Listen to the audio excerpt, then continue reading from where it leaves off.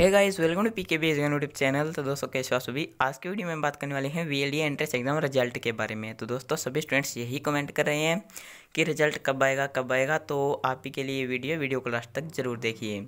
सबसे पहले मैं आपको बता देता हूँ, मैंने एक आर्टिकल आपके लिए लिख दिया है, लुआस वी रिज़ल्ट ट्वेंटी जिसको आप डिस्क्रिप्शन के लिंक को विज़िट करके और रीड भी कर सकते हैं और इससे बेनिफिट आपको ये मिलेगा कि जब भी रिज़ल्ट आएगा तो वीडियो से पहले आपको आर्टिकल के अंदर अपडेट मिलेगी।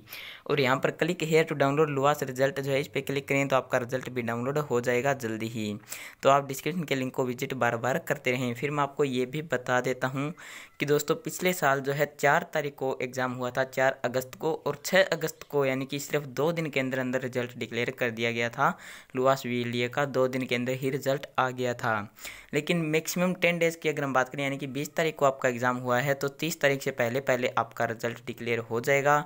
हो सकता है कल ही आ जाए, हो सकता है कल ना तो परसों आ जाए, लेकिन उम्मीद तो यही है कि तीस तारीख तक आपका रिज़ल्ट जो डिक्लेयर हो जाएगा वेबसाइट पर और जैसे ही डिक्लेयर होगा, वीडियो तुरंत आपको मिल जाएगी।